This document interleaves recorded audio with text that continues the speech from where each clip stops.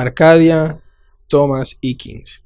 Esta es una obra de 98 centímetros por 114 centímetros, realizada en óleo sobre lienzo en el año 1883 y actualmente se exhibe en el Museo Metropolitano de Arte de Nueva York, al igual que otros artistas estadounidenses académicamente entrenados en la década de 1880 Eakins exploró temas clásicos, pero sin los típicos artilugios narrativos y modelos idealizados.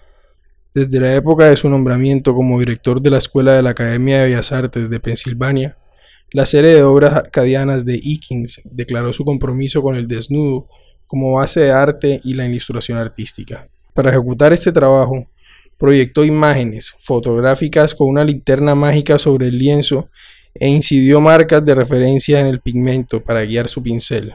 La figura femenina a la izquierda ha sido identificada como Susan McDowell, la futura esposa del artista.